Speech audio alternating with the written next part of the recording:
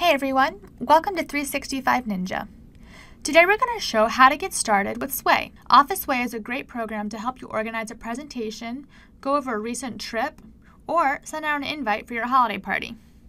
Today I'm going to make a holiday invite party invite with Sway and show you how you can customize it and make it really fun for the whole team. So we'll go into Sway once we sign into our Office 365 portal and we'll create new.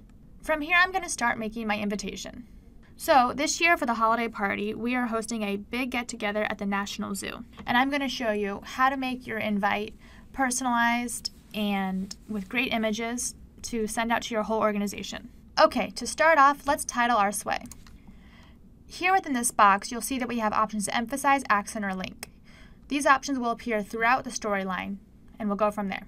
As you can see, the home page of Sway, you have your storyline here, and this storyline is where you're going to organize all of your cards. On each card is where you can put a different piece of content, such as a photo, a caption, a video, even a link to a map. So we've got our title, let's add a background to it so we can add some more color. I'm going to select a photo that I've downloaded on my drive. If at any point I want to preview what this looks like, all I need to do is click off the screen here. And it automatically adds some formatting that looks pretty cool. Let's go back to editing. So now that we have our title, let's add text for the actual invitation. So all I need to do to add a new card like this is click the plus button. I'm going to add text. So once you have your invitation text, all you need to do is you can go ahead and type it right in here or paste it from another document. I'm going to add a link for the National Zoo so people can click into it and look up more information about it. To add a link, highlight the text you want to link and click link. Then you'll paste in the link here and select OK. If at any point I want to delete a card I've already made, I have this option here to delete right there. You can also, if you're typing straight into the box, you have the options for formatting with numbers, bullets, adding an accent, or emphasizing. These two options just, you can play around with your text a little more. Okay, so I've added my invite text, and now I want to add a little more color to the maps and how to get to the zoo.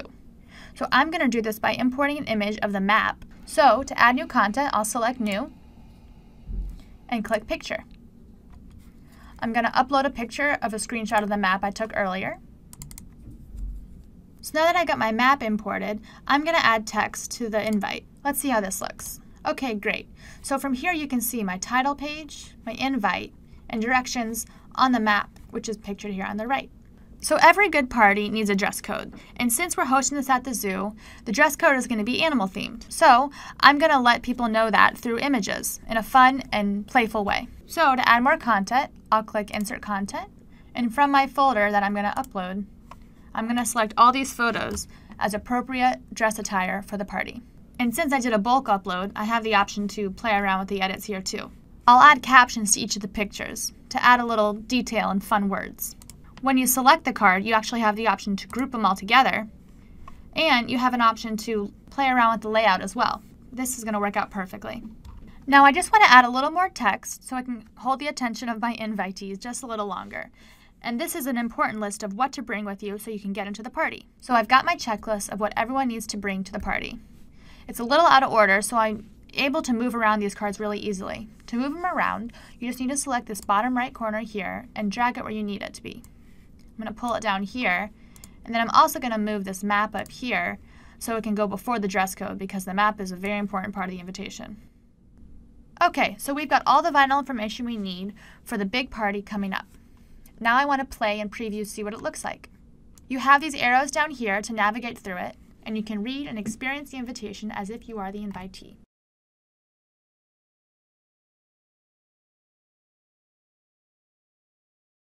When you're ready to share the invite with all of your users, look for this icon and click to share it socially. Here you can send out the link or get the embed code and embed it in your company communication tool. If you want to go back and edit your Sway, all you need to do is click the pencil. I hope you found this useful in getting started with Sway.